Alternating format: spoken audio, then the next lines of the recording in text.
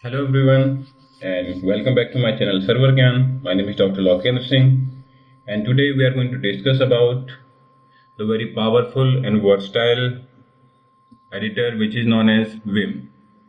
So V-I-M, Vim.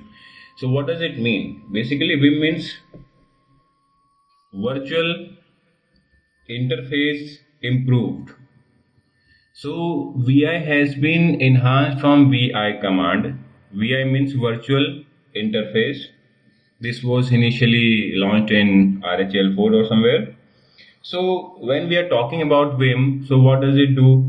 So if you want to open any new file, so it, it can create a new file or if you want to open any existing file, so it can open that file for editing or doing modifications for you if you are quite new to vi and vim so let us try to understand that vim is the command alias for vi command. But make sure that there is a particular file where it is mentioned that what sort of uh, changes has to be done. So there is a file let me show you. Vim slash etc profile.d then vim.sh this is file here it is written that if user id is less than or equal to 200 then there should uh, there should not be done anything. It means vi and vim both are going to be different command. But if this is more than 200 and 200 plus or more than 200 so vi will create an alias with vim whether all the users who have user id more than 200 whose user ID uh, is uh, greater than 200 will have VIM and VI equally used. So it means this is based on this alias. Fine. So now when you are talking about Vim, so there are three different versions of Vim. So let me write here. First of all, VIM minimal. Let me write here first. It means VIM minimal. VIM minimal is the first one. Second one is VIM. It means VIM enhanced.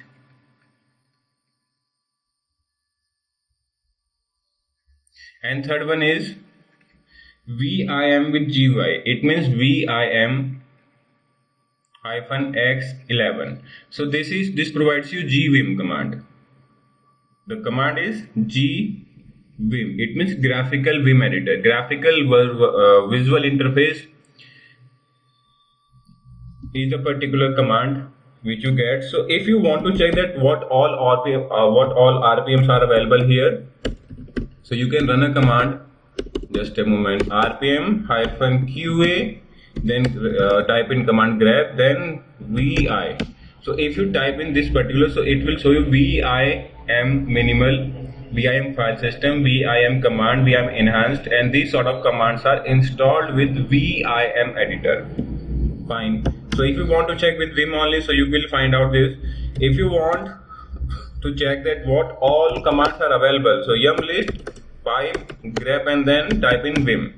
So it will show you all the available commands of VIM. So it means if you want to in install this, yum install and just type here vim x11 so it will provide you all the packages and the particular command line tool which is required to execute gvim command. It means graphical vim although i shall not be able to execute here because i'm working on cli mode only the gui is not available. But if you want so gvim command is available for now cannot open display because I'm working on AWS server where I have not taken session in that fashion where I can get some GUI output using this. Okay. So now this is about that uh, type of VIM. So how many different versions of VIM do we have? Now let us talk about modes of VIM. So if we talk about modes, So when we are talking about mode of VIM, so VIM is not a usual editor or which can be easily learned, easily uh, understood. So you have to understand that there are three modes. First of all is command mode. Command mode. What is it? So the command mode is used to file navigation cut and paste and simply commands simple commands used like undo redo and other also performed this uh, like if you are going to cut copy and paste so you can do like let me show you some something here slash etc. And maybe services is the file which I can open. So see with with VIM uh, with, with VI if I open this so it's it's so it, it does not show me in colorful mode. But if you are going to talk about that you are going to work with VIM and if you mention the same file name so it will open in colorful mode okay fine. So if i want to delete something so i can press I, I can press dd here. For example if i go here and i want to remove this one so i can press dd command. If i press dd two times so this will remove the particular line from here. If i want to go for undo so i'll have to press u and that particular deleted line will come back. So these sort of commands you can do you can uh, utilize within command mode. Fine. Wq it means you have to execute this command is in ex mode. I am going to show you the, uh, tell you the second mode of this particular command. So second mode is insert mode.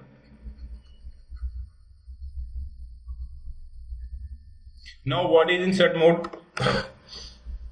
This mode is used for normal text editing or replacing uh, word or inserting new lines into your text file fine. Now what is third mode which is okay let me give you one example of the same file. For example i want to mention something here i want to write. For example this is new line added. If i want so see when i log into this file let me quit here. When i log into this file so it says that this is file name the particular characters in the file, number of lines in the file, currently where I am, and this is top of the file. If I go to bottom, so it will it will show bot. It means bottom of the file. So VIM is quite expressive and you can check all the available stuff within VIM. Okay. For example, if I need to go to line number four, so I'll write here delimiter and after that whatever line number I want, so I will I will jump onto that line currently my cursor is blinking here whether I can count or if I don't want to count so I can simply check out here. It will show me that the particular word on what word I am on what character I am and what on what line number I am actually. So this number this uh, particular count will get increasing fine. So when i am here this particular mode is known as command mode. It means if i want to copy copy means y y. It for example i press y y and i press p. So it will copy and paste one line for me. U for undo if i want like four like five files need to be copied and after that i want to paste it here. So all the five lines which are copied from there are pasted here. So yy for copy and p for paste fine. If I want to undo so u is a command for that. You can use u okay. Now this is example of command mode. Now what is insert mode? So for going into insert mode there are multiple options. Multiple options are there. For example you can press i. I is the most favorite of people that at the particular point wherever you are. Like my cursor is blinking here so if i press i so i shall be uh, switch to insert mode with same location. Location will not be changed. If I press small a so it means it will jump me a character ahead. For example if I press capital A so it will definitely it will uh, take me to insert mode but at the end of the line. See example once more. So if I want to go to beginning of line so I can press shift plus 6 it means caret sign if I press so I can I can jump to beginning of the line. Now I want to go to insert mode once again but at the end of line. So if I press capital A so it will take me to end of the line. See this is the cursor. If I want to go to beginning of line so shift plus 6 I will I will jump to that particular. It means beginning of line. But if you want okay then after if you want that uh, your cursor should move to start of current line. For example I am here somewhere. And I want that my I should be taken to insert mode but with beginning of line. So I can press shift plus I. It means capital I. If I press caps I if I press so I will I, I will be taken to that particular mode. Fine. Now there is particular more uh, there is a particular command which is r. It means r for replace. That whatever i type in here so that will be replaced if i go for r. Capital r i will have to press. I uh, let me undo it. So whatever i type in here so if i start typing so that particular word will replace all the existing text. So uh, capital R you can go in insert mode. Sorry in replacement mode. Okay let's do undo uh, okay then after if you press O O for this uh, next line with insert mode but below of the current line.